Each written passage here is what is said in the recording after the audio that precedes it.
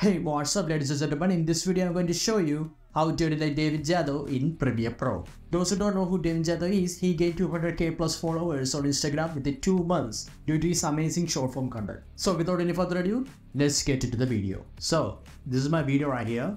So first thing what I'm going to do is I'm going to type a test. So for doing this, go to Window, Essential Graphics.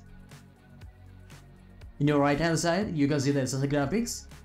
Now, go to type tool right here and I'm going to type a test. Now, under Essential Graphics, you can see the chest. So the font that Devin Jatho is using is Mello. I will put a link in the description. You can download it from there. So I am using the Mello bold. Under appearance, you can see the fill. Change the color to red. And check on stroke and make sure the stroke width is 10. So let me send to the test. For doing this, click on the test. Under align and transform, click on align center.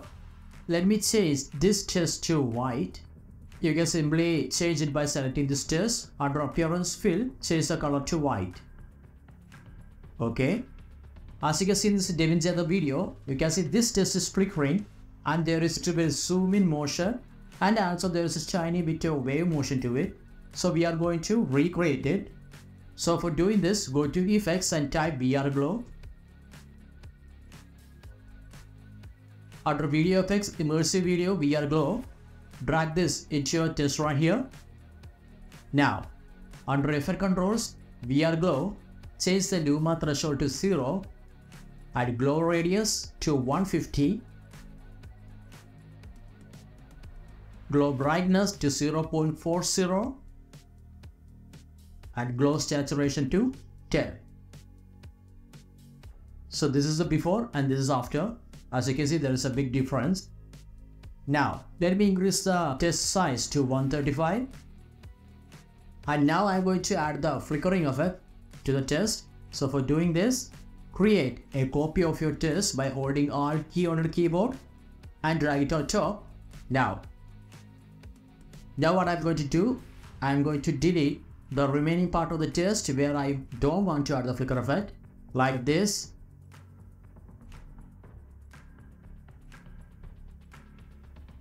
As you can see this is the test which I want to add the flicker effect. Now I'm going to select this test and under Essential graphics appearance fill change the color to white. Now what I'm going to do is go two frames forward and I'm using razor tool or press C on your keyboard, go two frames forward and cut it. Do this process again and again, how much your flicker effect to be needed. After that done, and I'm going to delete it like this. If you play, it will look like this. Now I'm going to add the zoom in and wave animation. So for doing this, select both these tests right click and nest click on this nest sequence and go to effect controls. And I'm going to set a keyframe for position at the beginning of the channel line. And let me go 12 frames over and change the position to 1270 and let me go another 12 frames. And I'm going to change the position to so now the wave animation is completed. Now I'm going to add the zoom in animation. Set a keyframe for scale at the beginning of the timeline. Now at the end, change the scale size to 110. And now we recreate the wave in and zoom in animation. And now I'm going to change the rotation to minus 5. Okay, now if you play, and the next effect is uh, the color change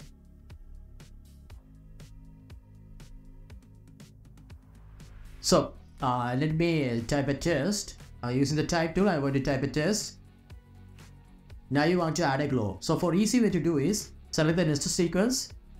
You can see the previous test right here where we add the glow effect. Just go to the effect controls right here. Right click on the VR glow, save preset, and I'm going to write a name glow and press OK. Now if you want to add a glow, go to effects under preset, you can see the glow. Just drag this into the test right here. In this way you can easily add the glow. You don't have to manually adjust the settings. Let me change the size to 135.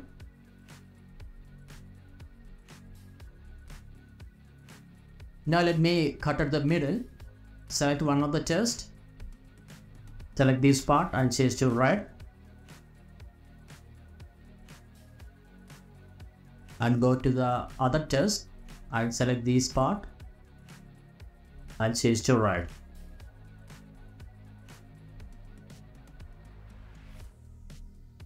And the last thing which I see most commonly is adding images to the video. So I just add an image which is a QR code. So this is a PNG image. So let me increase the size image to 200.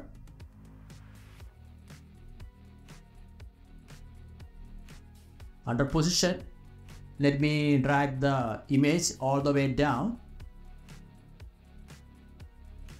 And let me go few frames forward and let me drag it on the top. As you can see in the DaVinci video, you can see the image is on the back and the test is on front. You can simply do this by drag your test layer on top and the image on bottom. So as you can see, it will look like this. And if you want, uh, you can smoothen the animation by select both the keyframes, right click, temporal interpolation, auto bezier, and click on the drop down icon and make the graph like this. That's it guys. Hope you guys like this video. If you like this video, hit the like button and subscribe to my channel if you like these kind of tutorial videos and I will see you on my next video.